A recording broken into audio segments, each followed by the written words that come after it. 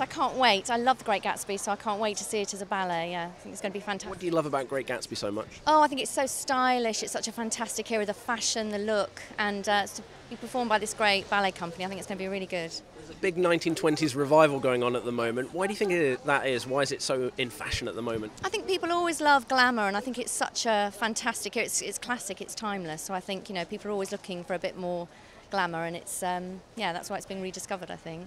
Of course, the other thing people are looking for at the moment, jobs. You're helping people with that in the job lot on TV. Um, for anyone who hasn't caught the series yet, shame on them. Can you tell us a little bit about it and what got you so excited about it? Um, I think it's really apt at a time, you know, we've been through a double dip and people are probably going into job centres that have never had to do before. And I think it's also, uh, hopefully, it's providing a bit of light relief and seeing the funny side of having to go through experiences like that.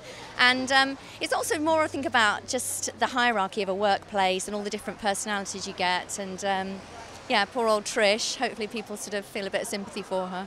She's got a hard time, but she does have wonderful people to rely on. Uh, Russell Tovey, most among them. Um, what's it like working with him? Oh, Russell is just a joy to work with. He's just lovely. We have really good times. We're very, very lucky that we get on so well because we were filming in rather a grotty building, so it made up for it.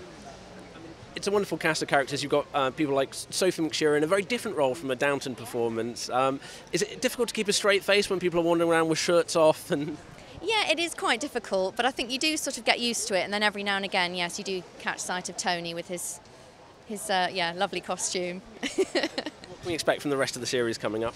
Oh, we've got some lovely treats. There, uh, there's some dogs coming up in an episode. They feature heavily, and um, yeah, I think that's a great episode. Um, but yeah, lots of nice things coming up. Yes.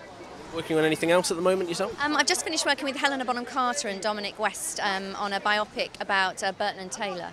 So for BBC Four, which I think that's coming out later this year. So yeah. Who do you play in that?